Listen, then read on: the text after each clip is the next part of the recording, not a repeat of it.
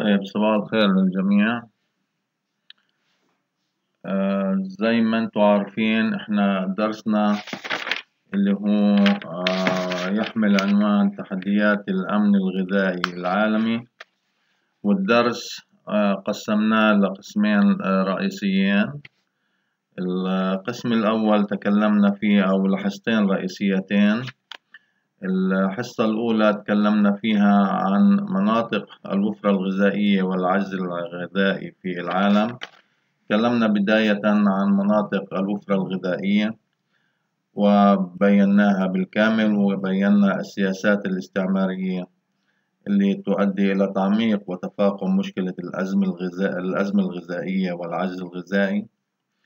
والمناطق الثانية تكلمنا عن مناطق العجز الغذائي في العالم بينا هاي المناطق آه، وأيضا بينا شو النتائج المترتبة على الأمن الغذائي في هذه المناطق. وضربنا مثال عن مصر وكيف آه، أنه مشكلة الأمن الغذائي آه، فيها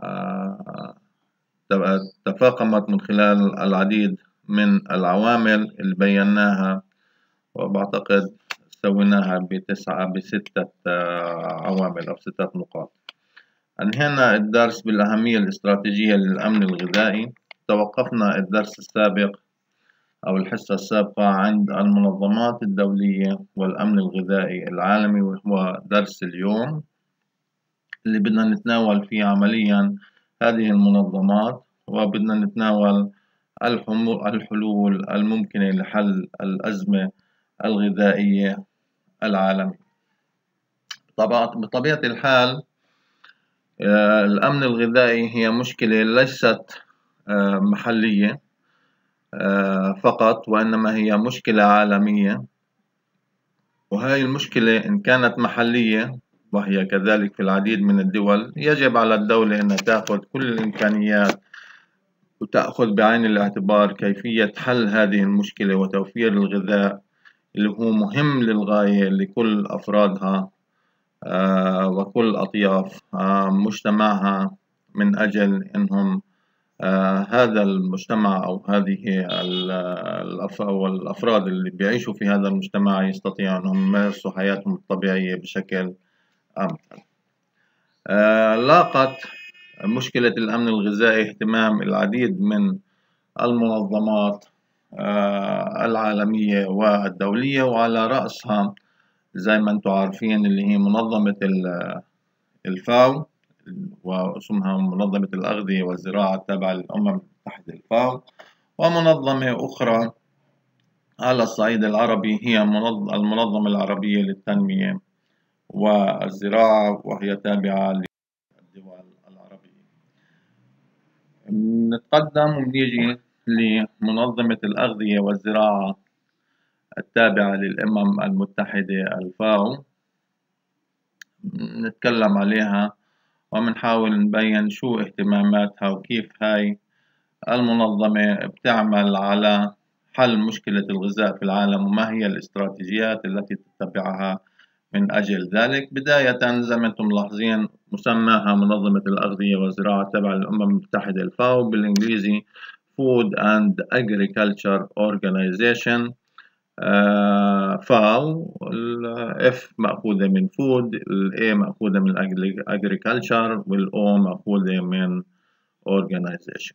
هاي المنظمة بتحاول جاهدة على حل مشكلة الفقر آه، العالمي خاصة لدى الدول النامية والمناطق الريفية من خلال العديد من الإجراءات والاستراتيجيات اللي بتتبعها وأهمها المساهمة في دعم وإقامة كثير من المشاريع الزراعية والغذائية في العالم تقديم المساعدة النقطة الثانية في المناطق اللي بتعاني من الحروب أو الكوارث الطبيعية كالجفاف والحرائق والفيضانات. والنقطة الثالثة توفير الدعم والمساعدات والخبرة والمشورة التقنية للدول النامية والمناطق الريفية خاصة أوقات الأزمات. حقيقة أنه منظمة الأغذية والزراعة التابعة للأمم المتحدة منظمة آه، نشيطة ورائدة في مجال المساعدات الغذائية والزراعية لمختلف دول العالم خاصة الدول النامية والدول التي تعاني سواء كانت أزمات محلية على مستوى النزاعات والصراعات أو على مستوى أزمات تتمثل بالكوارث الطبيعية كالجفاف أو التصحر أو الفيضانات أو الحرائق وغيرها. المنظمة الثانية هي منظمة آه، إقليمية تحديدا مش نقول محلية هي منظمة إقليمية وهي منظمة تابعة لل آه، للدول العربية أو لجامعة الدول العربية اسمها المنظمة العربية للتنمية والزراعة. أنشئت هذه المنظمة في مطلع السبعينات من القرن الماضي بهدف مساعدة الدول العربية المحتاجة لتطوير قطاعاتها الزراعية من خلال إعداد الدراسات اللازمة والبرامج والمشاريع الخاصة بالإنتاج الزراعي في دول الوطن العربي المختلفة والدول المحتاجة من هذه آه، الدول العربية. نيجي الآن للشق الأخير من درس اليوم ودرس اليوم عمليا هو درس صغير نسبيا. أو حصة اليوم هي حصة بسيطة. ما هي الحلول اللي التي يمكن أن تساعد في حل مشكلة الأمن الغذائي في العالم؟ الكتاب في صفحة 79 مبينها بالنقاط. أنا برضو ذكرت لكم إياها بالشريحة اللي أمامكم أيضا بالنقاط. وهي النقاط بتقول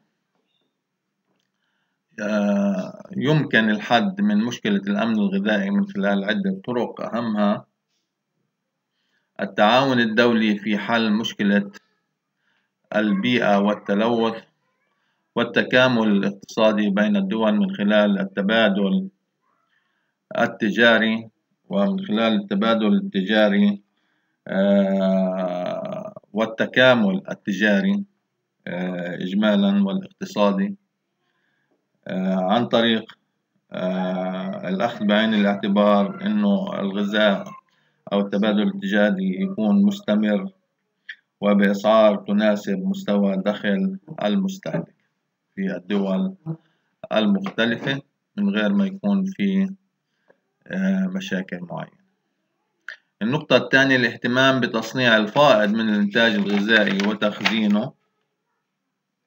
أكيد من الإنتاج الزراعي والغذائي بيكون في فائض هذا الفائض آه، ممكن جزء منه يكون يتم تصديره ولكن جزء مهم لازم يكون آه، يتجه إلى التصنيع وهذا التصنيع يؤدي إلى زيادة مستوى الأمن الغذائي في الدولة وزيادة مخزونها من الإنتاج الغذائي التي ممكن أن تستطيع إنها تخزنه لفترات زمنية طويلة كالتعليب والتجفيف وأيضا آه، تخزين بعض السلع الضرورية والهامة كالقمح والزيوت. النقطة الثالثة العمل على زيادة إنتاج المواد الغذائية الاستراتيجية والتوسع بها أفقيا ورأسيا. هون المقصود بالمواد الغذائية الاستراتيجية كالأرز والقمح والذرة وغيرها من المواد الأساسية والإستراتيجية التي لا غنى لأي دولة من دول العالم. عنها يمكن أن تتوسع الدولة في إنتاجها إما بشكل أفقي أو رأسي كما ذكرنا في دروس سابقة التوسع الأفقي يعني زيادة الأراضي الزراعية آه، إجمالا والرأسي عملية آه، رفع إنتاجية وكفاءة الأرض الزراعية الواحدة من خلال بذور محسنة وغيره أو آه، أسمدة أو مبيدات تساعد في الحفاظ على المحاصيل الزراعية.